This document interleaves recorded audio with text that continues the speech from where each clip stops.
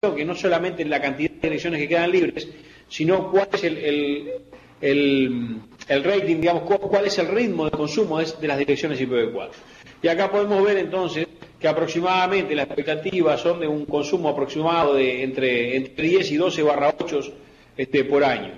¿no? O sea, este, esos 30 barra 8 que quedan todavía bajo la administración de la IANA este, no, se, no alcanzan para mucho tiempo. Algunas predicciones, las predicciones más serias, indican que de no cambiar nada y de seguirse con las actuales políticas, en algún momento del año 2011, inclusive algunas, este, algunas estimaciones indican mayo del 2011, lo cual sería este, poco menos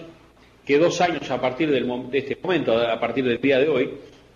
este, este ya se, terminará el stock central de direcciones y podremos seguir asignando tiempo más este, de las direcciones IPv4 que aún van a estar este, disponibles en los stocks de los, de los registros regionales. ¿Qué podría pasar entonces? Bueno, lo primero importante es decir que Internet no se va a detener, ¿no? O sea, y de esto deben haber estado ustedes hablando mucho. O sea, Internet va a seguir funcionando, todo lo que funciona con IPv4 va a seguir funcionando cuando no haya más direcciones IPv6. Este, o sea, no estamos este, enfrente a una situación como la del año 2000, por ejemplo, donde se esperaba, donde había temores de que por efecto del, cambio de año, el primero de enero del 2000, muchas cosas en el mundo dejaran de funcionar. O sea, acá no estamos enfrentados a una situación de ese tipo.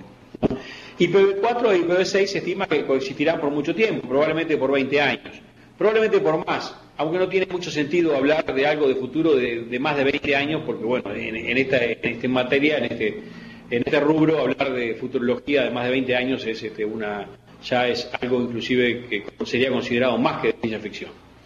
¿No? Habrá direcciones IPv4 disponibles por muchos años de diferentes formas, o sea, quedarán pequeños pedazos, o sea, habrá formas de acceder a direcciones IPv4 en diferentes formas, pero no en la, misma, de la misma forma en que son accesibles hoy en día. Va a haber en algún momento pronto, probablemente en algún momento del año 2010, empezaremos a tener problemas para hacer asignaciones de, espacios grandes contiguos, lo cual afectará uno de los principios este, en los que mencionábamos antes, en los cuales se basa la tarea de los RIRS, que es el principio de agregación. O sea, probablemente cuando venga un ISP a pedirnos un conjunto determinado de direcciones IPv4, tendremos que decirle, no tengo un conjunto de ese tamaño, lo que tengo son varios conjuntos de tamaño menor que, en, vistos eh, todos juntos, van a satisfacer sus necesidades.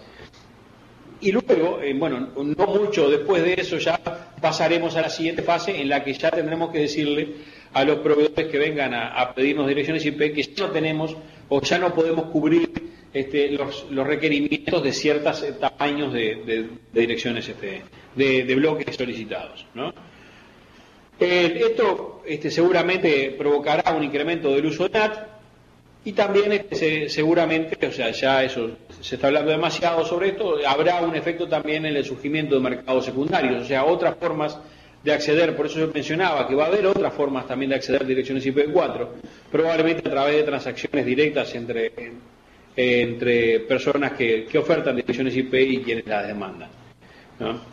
Entonces acá, el, si bien este, vamos a hablar de todas las cosas que hay que hacer, o sea, lo que está claro es que la mejor manera de enfrentar la, la, transición, la finalización de las direcciones IPv4 es la adopción temprana de IPv6. O sea, para que esos dolores, o sea, cuando que dentro de poco ya estaremos sintiendo, cuando ya no seamos capaces de asignar ciertos este, tamaños de conjuntos de direcciones IPv4, este, bueno, es, importante que ya empecemos a tomar recaudos desde antes y cómo vamos rápidamente hacia IPv6. ¿No? Bueno, ¿qué es lo que las actividades de la ACNIC en este sentido se orientan este, a, facilitar la adopción de políticas sobre IPv6? O sea, nosotros mismos hemos impulsado la discusión de, algunos cambios en las políticas de IPv6 para hacerlo más, más accesible. O sea, hoy acceder a un bloque de direcciones IPv6 es muy sencillo, alcanza con tener realmente un plan de trabajo para adoptar las direcciones este, IPv6, para implementar IPv6, y eso es suficiente, o sea, no es muy burocrático, los requerimientos no son muy grandes, por lo tanto, este no es un obstáculo para la, este, la adopción de IPv6. La exoneración de pagos relacionados a IPv6, ahora, y, eh, de acuerdo a una resolución vigente por la Asamblea General de la ANIC, hasta agosto del 2011, por lo menos,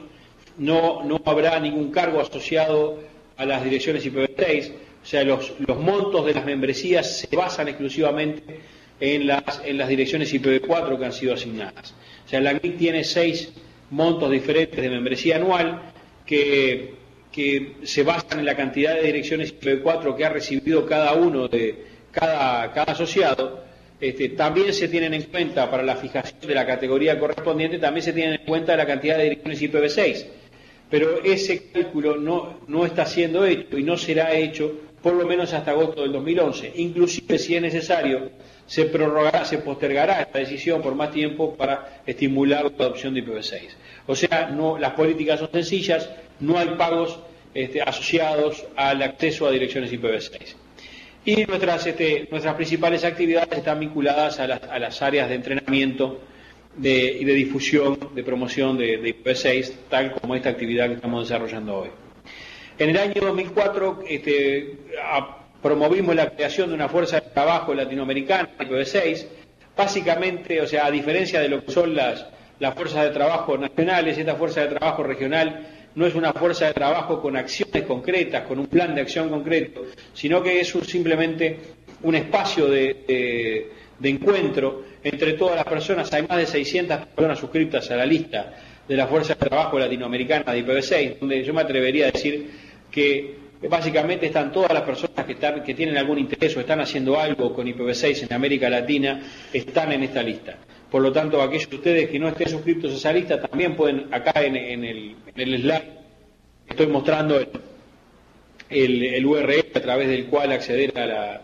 eh, las facilidades de suscripción de la lista, este, pero también lo pueden encontrar a través de la página web de la NIC. Es importante que se suscriban. Y además es muy interesante resaltar que, que en esta lista se vive un espíritu de colaboración muy similar al que se vivía en los, en los primeros años de Internet, de los años 80, donde, donde había mucha colaboración y búsqueda de masa crítica en la región. Acá, cada vez que alguna persona este, coloca una pregunta, por más que no sea una pregunta sofisticada, a veces son preguntas prácticas, sencillas,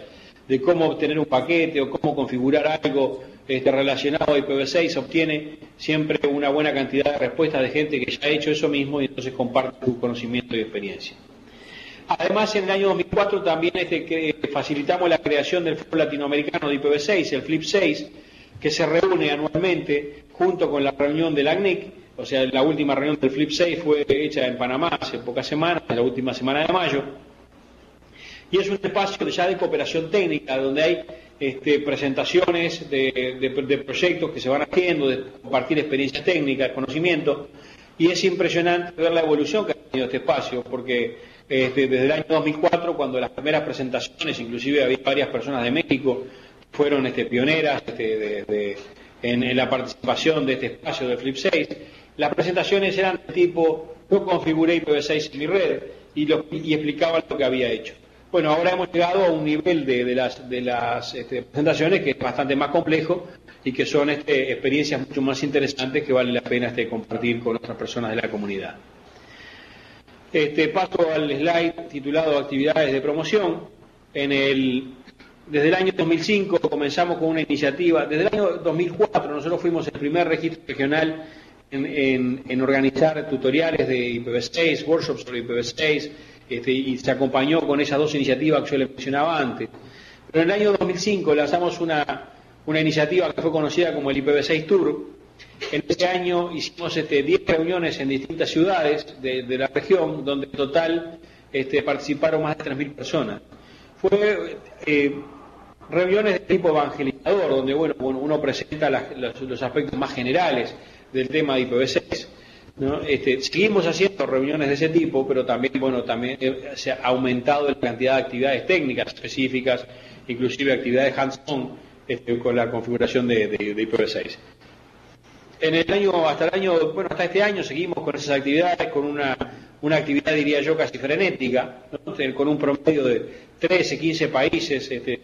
donde, en los que desarrollamos nuestras propias actividades sobre IPv6 en cada año,